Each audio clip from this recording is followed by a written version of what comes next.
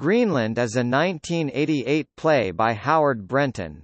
It is a neo-Brechtian epic psychodrama with many actors, props and scene changes, on which the writer worked for seven years.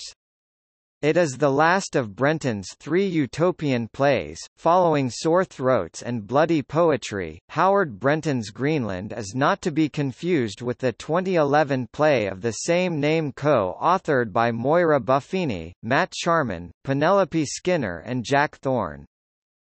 The play opened at the Royal Court Theatre in London on 26 May 1988 and played there for a season, its United States premiere was at the famous Door Theatre in Chicago in January 1994.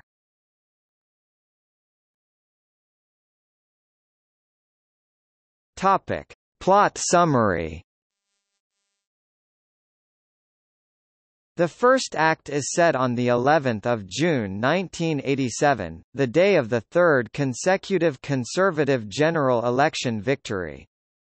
Four of the characters jump into the River Thames in despair, and in the second act wake up 700 years in the future, in a utopia where no one has to do anything they don't want to.